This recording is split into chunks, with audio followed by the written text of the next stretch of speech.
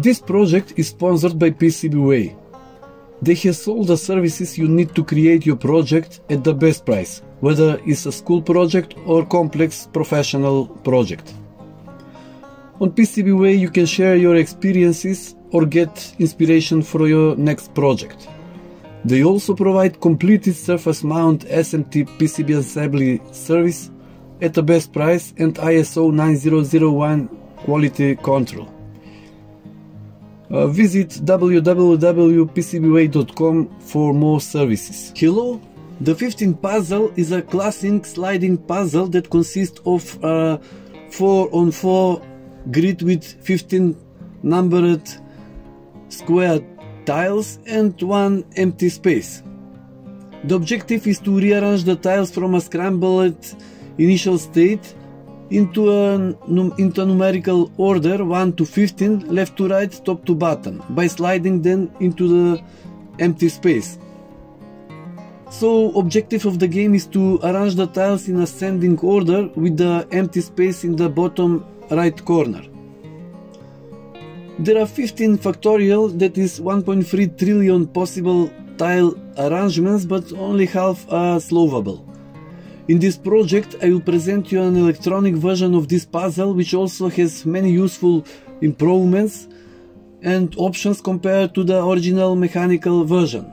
The game is played on a color touch sensitive display uh, so there is no sticking or difficult movement of the tiles which is a common case with the mechanical versions.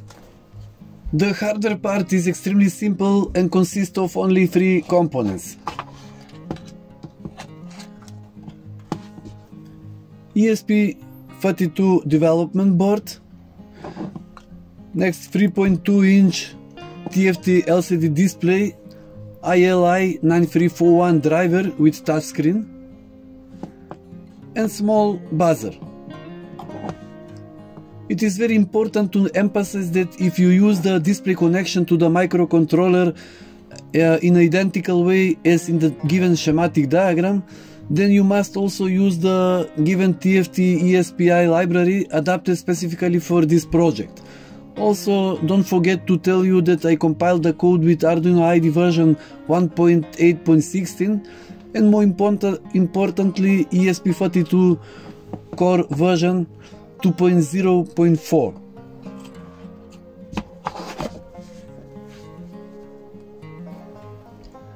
First I will describe how to join as well as the options in the game. After turning on the device, a guide to calibrating the touchscreen appears on the display. This is important because the game itself is played by touching the screen and it is crucial that, is, that it is well calibrated. We perform the calibrating by pressing the four corners of the display uh, in the specific order.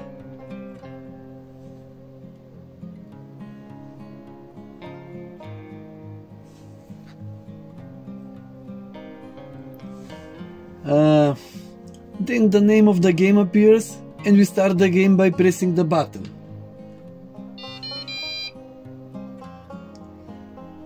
The playing field takes up most of the display and on, on the right side uh, there are three control information buttons. The top button the top button displays the current number of moves, moves played. In fact, we monitor the course and success of the game. Namely, the goal of the game is to arrange the numbers in a few uh, in as few moves as possible. Uh, with the middle button we can choose one of the five colors of the board we are playing on.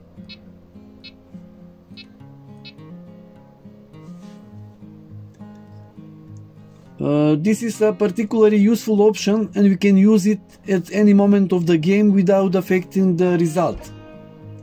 And the bottom button is also used to start a new game. Uh, this button is functional both at the beginning and at any moment of the current game if we get stuck with some positions, which is with each press of this button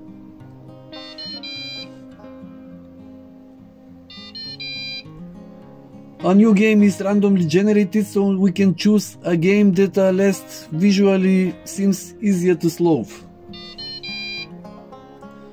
All touches on the screen are accompanied by, by appropriate sound which makes playing easier and more interesting.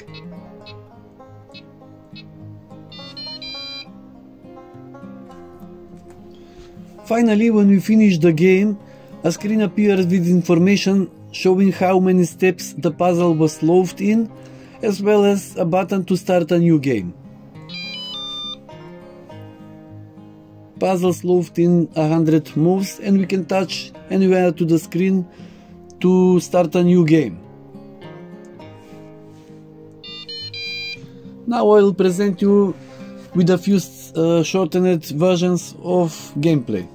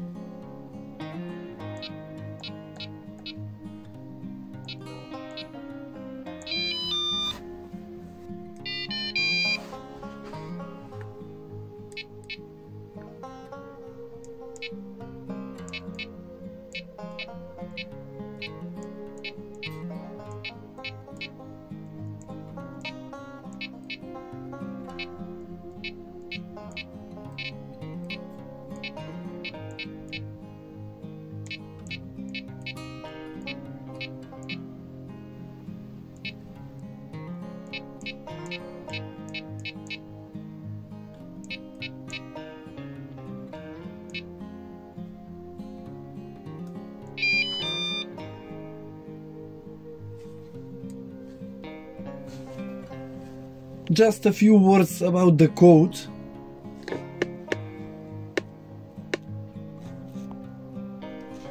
You can see that it is designed in a way that allows you to easily change most parameters from tile spacing and size to adjusting the sounds and colors in the game.